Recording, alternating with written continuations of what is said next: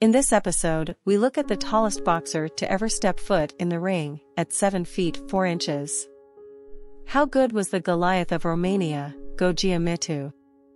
Dumitru Stefanescu was born on September 15, 1909, in Marsani, Dolj County, Kingdom of Romania.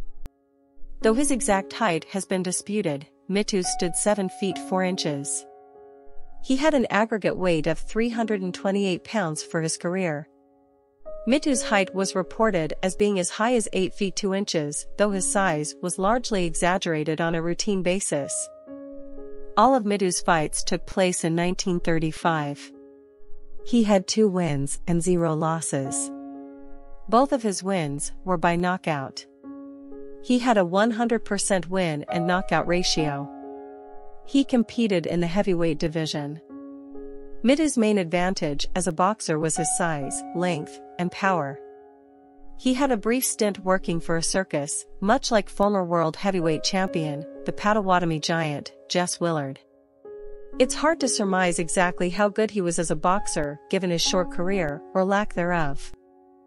On June 7, 1935, Mitu stepped in the ring with Saverio Grizzo for a heavyweight match in Venus Arena, Bucharest. At the time, Grizzo had a record of 13 wins, 14 losses, and 3 draws. Mitu had a 109-pound weight advantage over Grizzo, with him coming in at 324.5 pounds compared to 215.5 pounds for Grizzo. Grizzo was listed at 6 feet 7 and a half inches. Mitu knocked Grizzo out in the first round of the contest. In his final fight on October 27, 1935, Mitu met a fellow Romanian in Dumitru Pavelescu. This fight also took place in Bucharest. Pavelescu had a record of 3 wins, 11 losses, and 3 draws before the fight.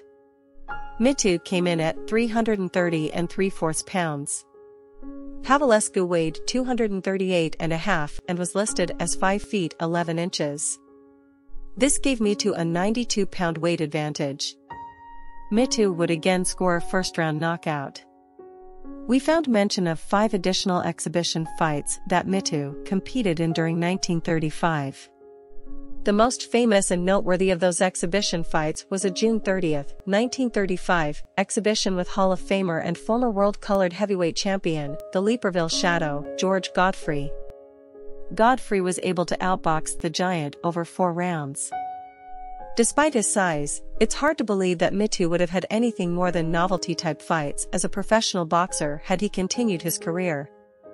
That said, he would have been a tall order for any boxer. Gogea Mitu died on June 8, 1936, at 26, from tuberculosis. He is not a big name in boxing, no pun intended, but he is the largest boxer to lace up the gloves, for what it's worth. Hopefully, the fact that he was able to parlay his size into some success and recognition made him happy.